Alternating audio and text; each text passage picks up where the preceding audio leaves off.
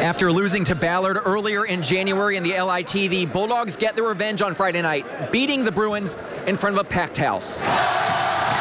The night the softball team was recognized for its perfect 2019 season, the basketball team showed it will be tough to beat from here on out. Third quarter, Bulldogs up by 14, make it 17 after this triple from Des Lindsay, Male pulling away. But Ballard tries to stay in it. Later in the quarter, Rashad Bishop with the hook shot off the glass, and all of a sudden the Bruins are only down nine.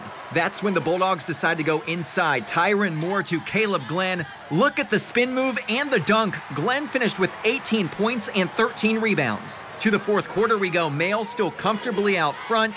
Howard Fleming in his first game of the season makes a beautiful behind the back pass to Tyron Moore, who scores three of his 18 points. Bulldogs beat the Bruins 76 to 67. We know our guys are brilliant tonight. They're a great team. We're a great team, and that's the way it's always going to be. What can this do for this team going forward? You know, I think it's big getting Howard back.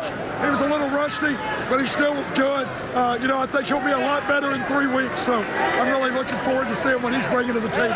Did it feel like a postseason game in here? Oh yeah, just a part two. We got we got another battle. We hopefully see them again in the regional finals. So we're not going to get too ahead of ourselves, not too excited, but we're going to definitely celebrate this one.